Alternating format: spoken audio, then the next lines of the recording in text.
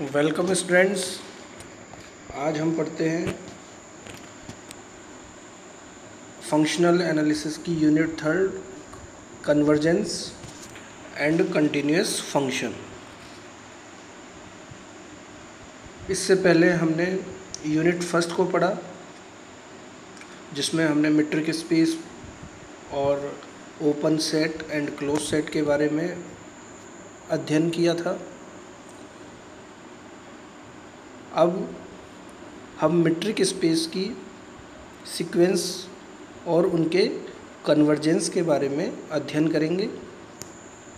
तो हमारी unit third है कन्वर्जेंस एंड कंटिन्यूस फ़ंक्शन इसमें सबसे पहले हम पढ़ते हैं सीक्वेंस सीक्वेंस को हमने बीएससी पार्ट फ़र्स्ट में थ्योरी ऑफ़ कन्वर्जेंस की बुक में पढ़ा था।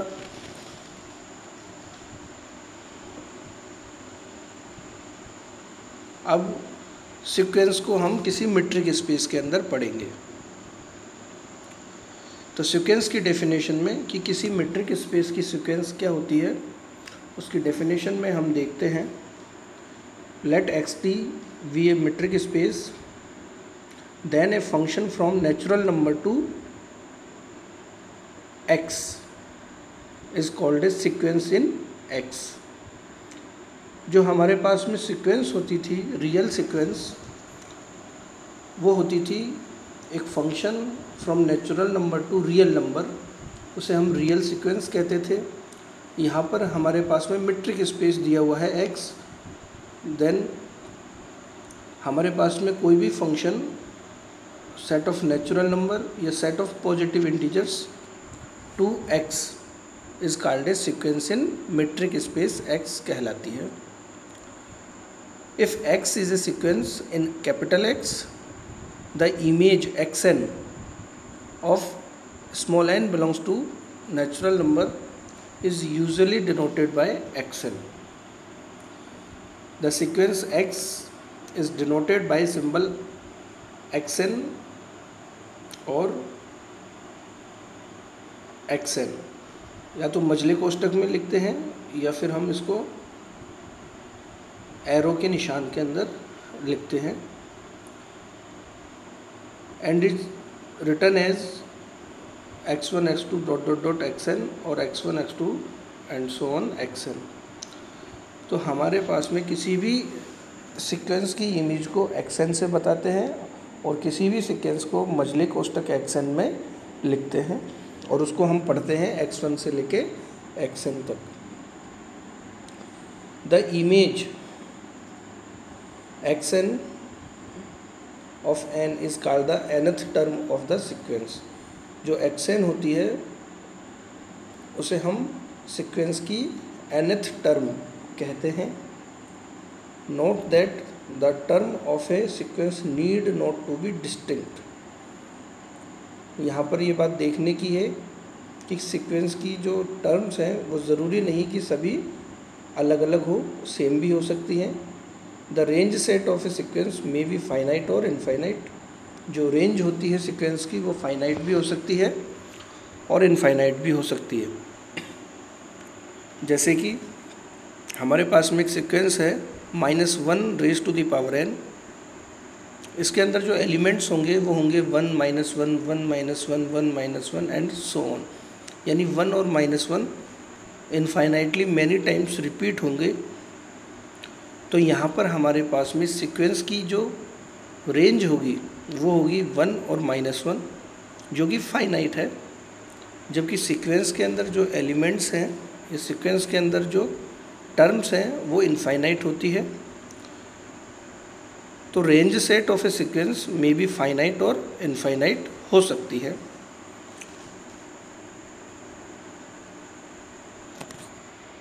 जैसे कि नेक्स्ट एग्जांपल में हमारे पास है n upon n plus one इसकी जो रेंज है, वो इनफाइनाइट सेट होगी, क्योंकि हमें इनफाइनाइट नंबर्स ऑफ़ टर्म्स मिलेंगी। इसके आगे, किसी भी सीक्वेंस की सब सीक्वेंस क्या होती है? कि let x n be a sequence in a metric space x d and let sequence n k be strictly increasing sequence in capital N, then xn k is called a subsequence of xn. जो n के है, वो strictly increasing sequence है N के अंदर। यानी हमारे पास में कुछ नंबरों नंबर्स हैं जो इंक्रीजिंग सीक्वेंस में हैं।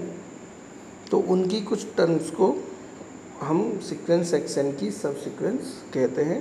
जैसे एग्ज़ाम्पल में दिया हुआ है सीक्वेंस है one comma one by three comma one by five and so on ये एक सब सीक्वेंस होगी, किसी sequence one comma one by two comma one by three comma one by four की। ये इंक्रीजिंग ऑर्डर में है so ये subsequence कहलाएगी सीक्वेंस जो दी हुई है उसकी। अब कोई भी सीक्वेंस कन्वर्जेंट कब होती है? ये चीज़ भी हमने पहले क्लासों में पढ़ी है। अब वापस हम इसको मीट्रिक स्पेस में पढ़ते हैं। मीट्रिक स्पेस में हमने open sphere closed sphere neighbourhood interior point exterior point isolated point limit point और कई सारी चीज़ों को पढ़ा। ये चीज़ें हमने पहले भी पढ़ी थी, लेकिन पहले हमने रियल नंबर्स में पढ़ी थी। यहाँ पर हम मीट्रिक स्पेस में पढ़ रहे हैं। तो उन्हीं को लेकर के यहाँ पर हम कन्वर्जेंट सीक्वेंस की डेफिनेशन देंगे। इसकी डेफिनेशन में let x d be a metric space a sequence x n in x is said to converge to a point small x in capital x for each epsilon greater than zero there exist n zero belongs to n such that small n is greater than equal to n zero implies d of x n comma x is less than epsilon अर्थात, माना हमारे पास में कोई metric space है x D तब कोई भी सीक्वेंस एक्स एन एक्स के किसी बिंदु स्मॉल एक्स को कन्वर्ज करेगी, यदि प्रत्येक epsilon greater than zero के लिए एक ऐसा n zero belongs to n विद्यमान हो कि एन ज़ीरो से बड़े एन के लिए d of x n comma x epsilon से छोटा हो। इसको हम इस प्रकार भी कह सकते हैं। कि for each open sphere s epsilon x with centre at x there exist n zero belongs to n such that x n belongs to open open s as epsilon x. For all n is greater than equal to n0 अर्थात for each open sphere यानी प्रत्येक विवृत गोले के लिए जिसका centre x है एक ऐसा एन विद्यमान हो कि इस ओपन स्फेयर में, विवृत गोले में एक्स एन विद्यमान हो। प्रत्येक एन ज़ीरो से बड़े या बराबर एन के लिए। और इसको we usually symbolise this by writing x n tends to x इसको इस प्रकार लिखते हैं एक्स एन तीर का निशान और एक्स यानी जो सिक्वेंस एक्स एन है, वो एक्स की तरफ़ कन्वर्ज हो रही है। The point x is called the limit of the sequence xn and sometimes it can be written as a limit xn is equal to x जो एक्स है, उसको हम सिक्वेंस की लिमिट कहते हैं और इसको हम निम्न प्रकार लिखते हैं।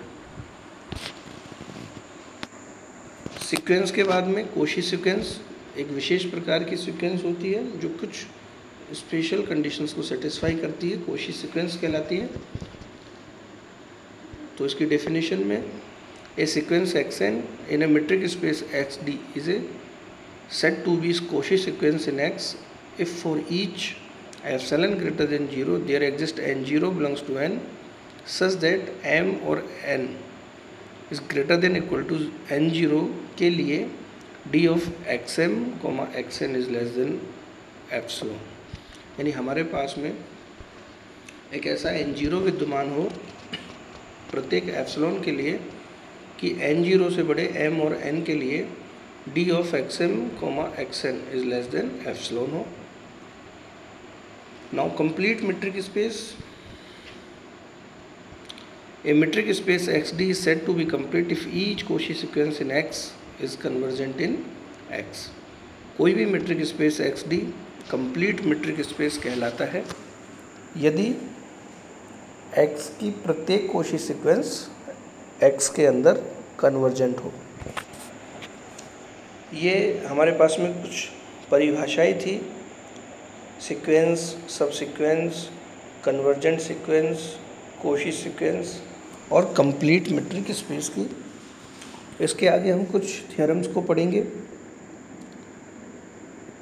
तो नेक्स्ट थ्योरम में हम देखते हैं। थ्योरम का स्टेटमेंट है कि any sequence in a metric space converges to a unique point कोई भी सीक्वेंस किसी मीट्रिक स्पेस में कन्वर्ज करती है एक यूनिक पॉइंट को, यानी अद्वितीय बिंदु को। इसको प्रूफ करने के लिए हम मान के चलते हैं कि let x n be a sequence in a metric space x d such that x n tends to x and x n tends to x dash. हमने माना कि जो एक्स एन है, वह एक्स को भी कन्वर्ज कर रहा है और एक्स एन एक्स डैश को भी कन्वर्ज कर रहा है। तो यहाँ पर हम ये प्रूफ करेंगे कि एक्स और एक्स डैश दोनों इक्वल है। Now to prove that x is equal to x dash, so for this हमने माना कि ये दोनों इक्वल नहीं है। Let if possible x does not equal to x dash जब दोनों बराबर नहीं है देन देयर डिस्टेंसेज यानी d of x comma x dash is equal to some numbers या हमने इसको नाम दिया थ्री आर कि d of x comma x dash is equal to three r then जो ओपन स्फीयर है, जिसकी रेडियस आर है, और सेंटर एक्स और एक्स डैश है, उन दोनों का intersection that is s r x intersection s r x dash वो फाइव होगा बिकॉज़ एक्स एन एक्स को कन्वर्ज कर रही है और एक्स एन एक्स डैश को कन्वर्ज कर रही है। सो so, जब इनका इंटरसेक्शन फाइव है now for any r is greater than zero there exist n zero comma n zero dash belongs to n such that कि किसी एन ज़ीरो से बड़े एन के लिए x n s r x में होगा और किसी एन ज़ीरो डैश से बड़े एन के लिए x n s r x dash में विद्यमान होगा। तो यहाँ पर हमने दो इंटीजर्स हमारे पास में इस प्रकार है एन ज़ीरो और एन ज़ीरो डैश जिसके लिए एक्स एन इन दोनों गोलों में विद्यमान होगा। नाउ अब हमने एक्स एन ज़ीरो और एन ज़ीरो डैश इन दोनों में जो मैक्सिमम है, उसके बराबर उसको हमने के ज़ीरो से डिनोट किया के ज़ीरो माना। देन के ज़ीरो से बड़े एन के लिए जो एक्स एन है, वो एस आर एक्स में भी होगी और एस आर एक्स डैश में भी होगी। इट मीन्स जो एक्स एन है, वो बिलोंग करेगी एस आर एक्स और एस आर एक्स डैश के इंटरसेक्शन में। अर्थात जो एस आर एक्स है और एस आर एक्स डैश है, उसका इंटरसेक्शन फाइव नहीं है। जो कि गलत है।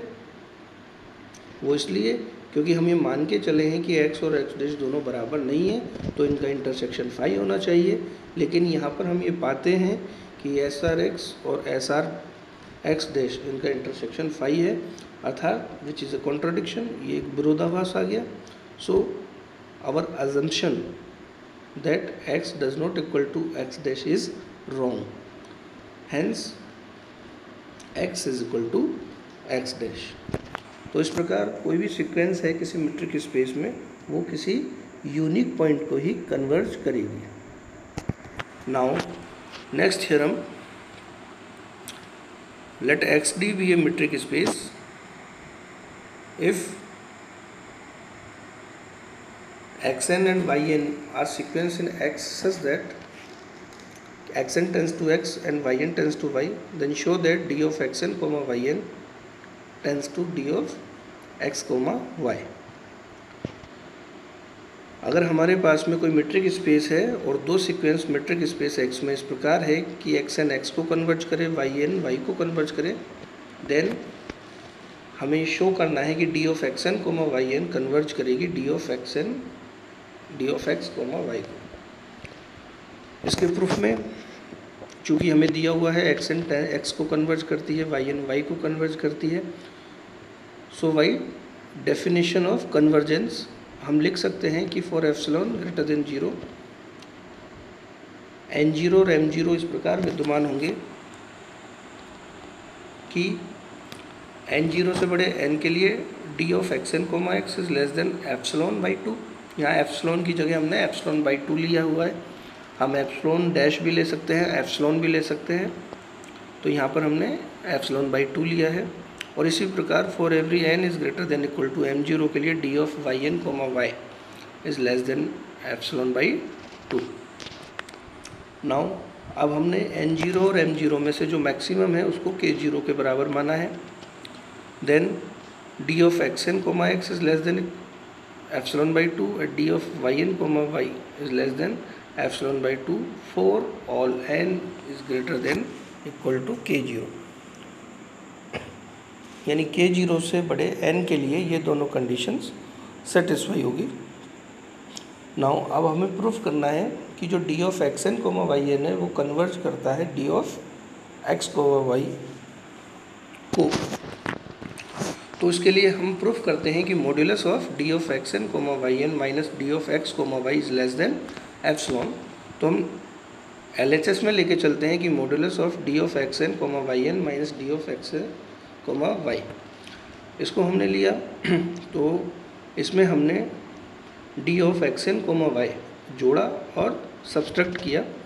सो हमारे पास में आया equal to d of x n comma y n minus d of x n comma y plus d of x n comma y and minus d of x comma y